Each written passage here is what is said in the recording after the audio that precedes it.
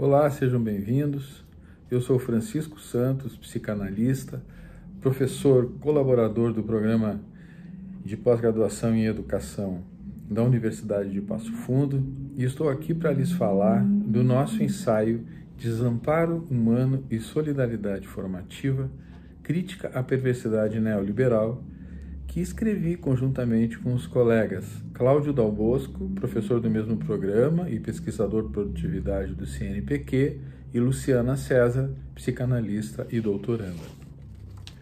O ensaio, publicado no número 43 de Educação e Sociedade, examina esse impacto devastador que a racionalidade neoliberal exerce sobre a formação do sujeito.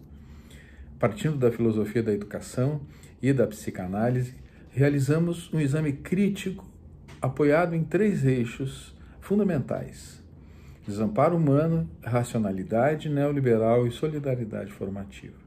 Estabelecemos a hipótese de que a racionalidade é perversa porque provoca uma quebra ética e estraçalha o laço interhumano, necessitando do apagamento do outro para tocar seu projeto de ocupação de mentes, corpos e vidas. Mas o que eu desejo efetivamente destacar para vocês nesse vídeo é a maneira original como nós tratamos o conceito freudiano de perversão para melhor aplicá-lo ao exame da realidade atual.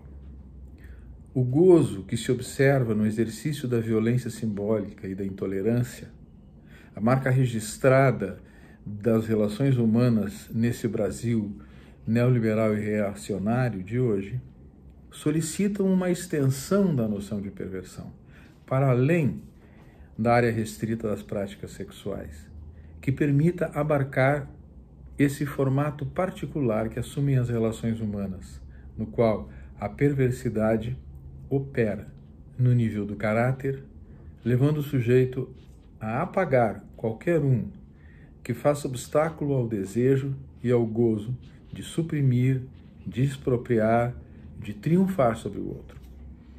Uma prática relacional é perversa quando abusa do outro com a finalidade de subjugá-lo, produzindo assim seu apagamento.